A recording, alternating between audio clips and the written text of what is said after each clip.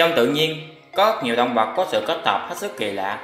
Có thể chúng không hợp lý về mặt di truyền, nhưng hình dáng chúng lại cho thấy sự độc đáo đó. Hôm nay hãy cùng tôi các vị khám phá top 10 loài động vật có sự kết hợp hết sức kỳ lạ này nhé. Loài dây chán độc đáo này được mệnh danh là một trong những loài động vật đáng yêu nhất thế giới nhờ vẻ ngoài kỳ lạ, dễ thương của mình.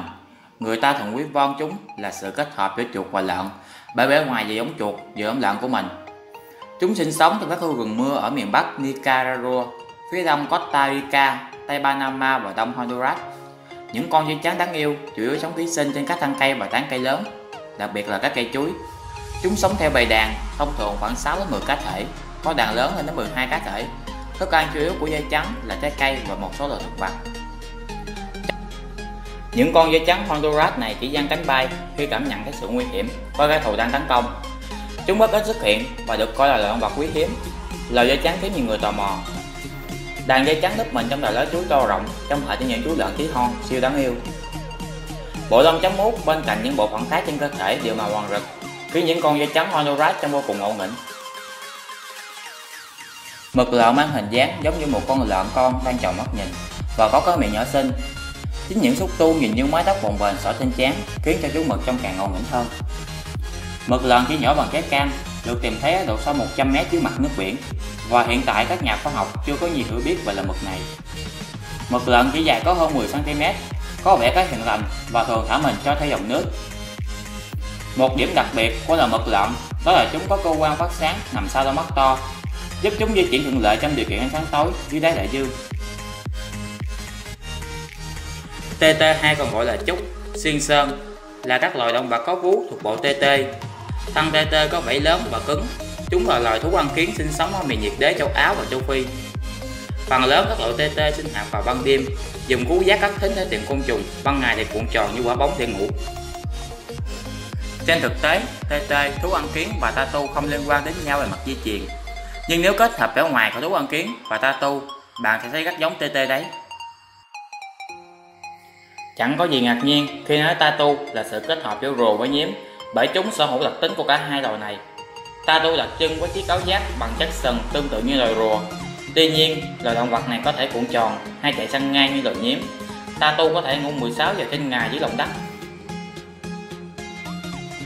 Dê ăn quả, sự kết hợp giữa cáo và loài dê ăn thịt.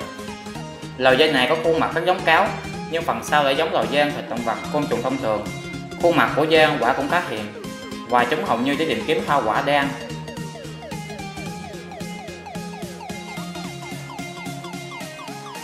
Loài này là sự kết hợp giữa rắn và thằn lằn. Chúng cũng khá giống một con tatu.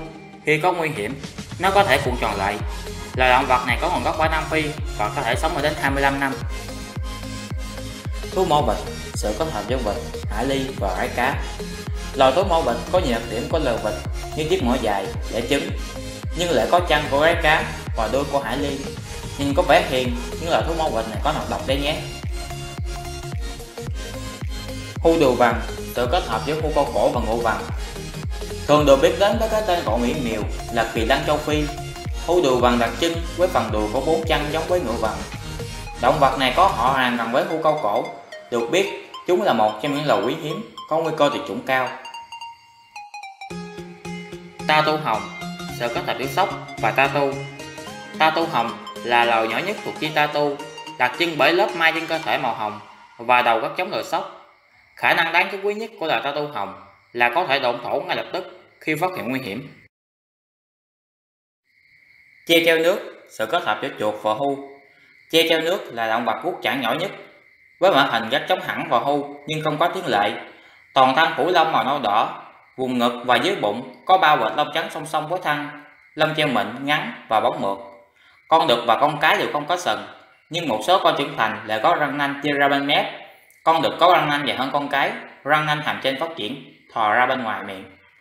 Treo treo là động vật móng vuốt nhỏ nhất thế giới, với kích thước không lớn hơn một con mèo nhà. Chiều dài là bánh thân trung bình từ 400 đến 480 mm, trọng lượng đạt từ 0,7 đến 2 kg. Khuôn mặt treo treo khá giống một con chuột, bốn chân rầy nhẵn như que củi. Linh dương xây ra sự kết hợp giữa dê và voi.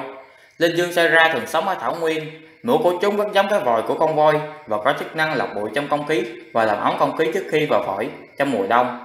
Vào mùa hè, linh dương Sera có lớp lông mỏng màu quế, còn mùa đông, lông chúng màu trắng và dày lên gấp đôi. Chăn loài động vật này khá thẳng khiêu và còn có khả năng bơi qua sông. Video đến đây là kết thúc. Nếu thấy hay, hãy like, share và đừng quên đăng ký kênh ủng hộ để mình có động lực làm tiếp những video khác. Cảm ơn các bạn đã xem.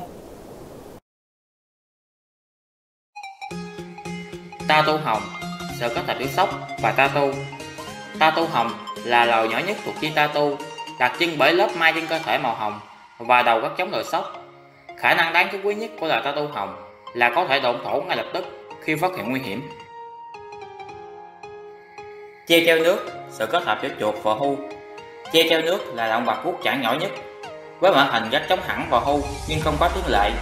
Toàn thân phủ lông màu nâu đỏ, vùng ngực và dưới bụng có ba vệt lông trắng song song với thân, lông treo mịn, ngắn và bóng mượt. Con đực và con cái đều không có sừng, nhưng một số con trưởng thành lại có răng nanh chia ra bên mép.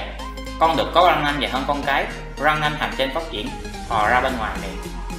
Treo treo là động vật phóng vuốt nhỏ nhất thế giới, với kích thước không lớn hơn một con mèo nhà. Chiều dài đầu đến thân trung bình từ 400 đến 480 mm, trọng lượng đạt từ 0,7 đến 2 kg. Khuôn mặt treo treo khá giống một con chuột, bốn chân rày nhẵn như que củi. Linh dương sơi ra sự có hợp giữa dê và voi. Linh dương sơi ra thường sống ở thảo nguyên. Mũi của chúng rất giống cái vòi của con voi và có chức năng lọc bụi trong không khí và làm ấm không khí trước khi vào phổi trong mùa đông. Vào mùa hè, linh dương sơi ra có lớp lông mỏng màu quế, còn mùa đông lông chúng màu trắng và dày lên gấp đôi.